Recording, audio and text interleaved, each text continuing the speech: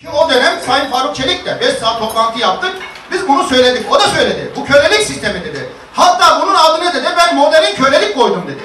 Aynen kendisi söylüyor. Ben de o zaman söz aldım. Dedim ki Sayın Bakanım o zaman bunu kaldıralım kurtulalım dedim. Bana şunu söyledi. Sayın Başkan dedi. Bizim Türkiye'de taşeronluğu kaldırmaya gücümüz yetmez dedi. 2012 yılından bahsediyorum. O zaman öyleydi.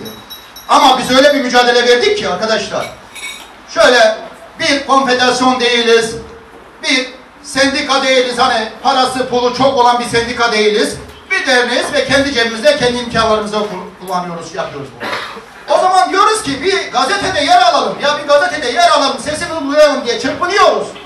Gidiyoruz para istiyorlar, yapmıyorlar. Öyle bir yere gittik ki yürekten mücadele edersen öyle bir yere geldik. Star yayına katıldım. 10 sefer canlı yayına haber programına katıldım. Fox TV'ye katıldım, TV5'e katıldım, Halk TV'ye katıldım ve Türkiye'nin neresine gittiysek oradaki kanallarda sizin sıkıntılarınızı anlattık. Niye? Sizin gücünüz vardı arkamızda ve biz bu işe inanarak, bilerek bu yola çıktık. Bunları yaptık.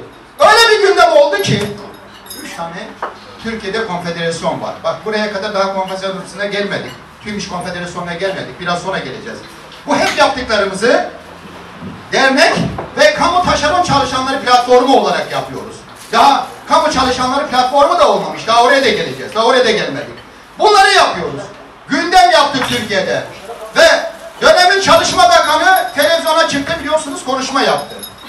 Ne dedi? Üç tane konfederasyon başkanıyla görüştüm dedi. Kim? Ergün Ataray, Mahmut Aslan, Kamil Beko.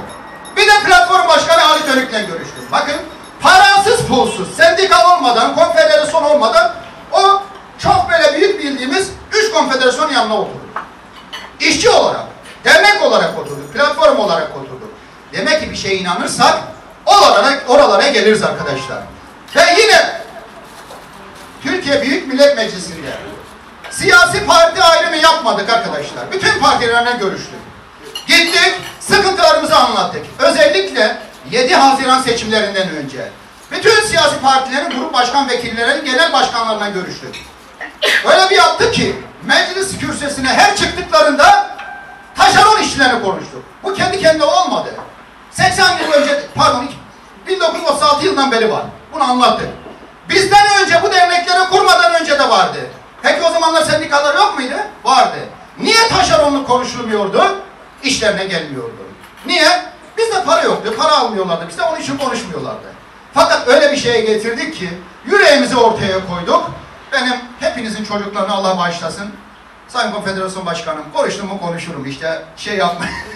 Biraz evet. Vallahi konuşacağım artık e, konuşmadan da olmaz. E, ekranda da e, arkadaşlarımız izliyor.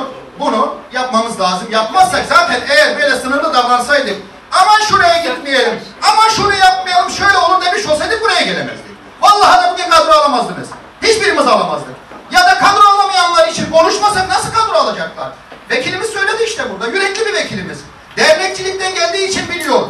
Bunları konuşmazsak sadece fotoğraf çekilmek için buraya gelip de iki kelime afiyet olsun arkadaşlar desek de bu olmaz.